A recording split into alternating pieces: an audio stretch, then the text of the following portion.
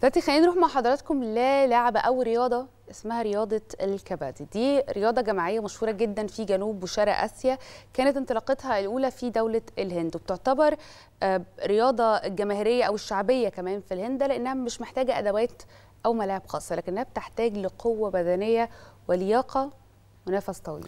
ده حقيقي لأن اللياقة تحديدا مطلوبة عشان هي ميكس ما بين أو خليط ما بين آه، الرجبي أو آه، كمان المصارعة وبتعتبر رياضة تنافسية لتعليم النشء تحديدا والشباب القوة وروح المنافسة. علشان كده وزارة الشباب والرياضة أطلقت المشروع القومي لنشر لعبة الكبادي بين تلاميذ المدارس. تعالوا نعرف تفاصيل أكتر من هذا التقرير.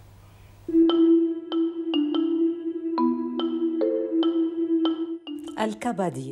رياضة جماعية انطلقت شهرتها في جنوب وشرق قارة آسيا وتحديداً في دولة الهند ويطلق عليها رياضة الجماهير بسبب بساطتها وعدم حاجتها لأي أدوات أو ملاعب خاصة.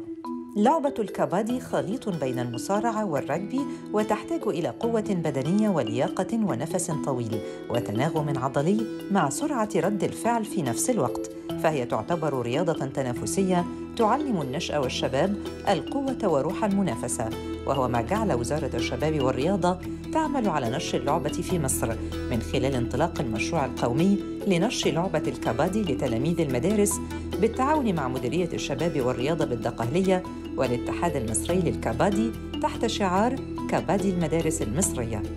وتم الإعلان عن المشروع الشهر الماضي من خلال مديرية الشباب والرياضة في هذه المحافظة طبقاً لشروط ومواصفات محددة. وتم الاختيار المبدئي للاعبين المستهدفين ثم تم الاختيار النهائي من خلال لجنة فنية للمشروع. تتضمن مجموعة اختبارات لقياس عناصر اللياقة البدنية الأساسية. وقد تم عمل الاختبارات اللازمة على أن يكون قوام كل فريق 12 تلميذاً أساسياً بالإضافة إلى ثلاثة احتياطي. هدف هذا المشروع هو نشر اللعبة وتوسيع قاعدة الممارسة من الناشئين وسوف يتم تنفيذ المشروع على مدار سبعة أشهر. يتم فيها التدريب على المهارات الأساسية للعبة وتنفيذ لقاءات مجمعة بين المراكز ببعضها البعض بالإضافة إلى إعداد لقاءات تنافسية مع الفرق بالأندية الأخرى.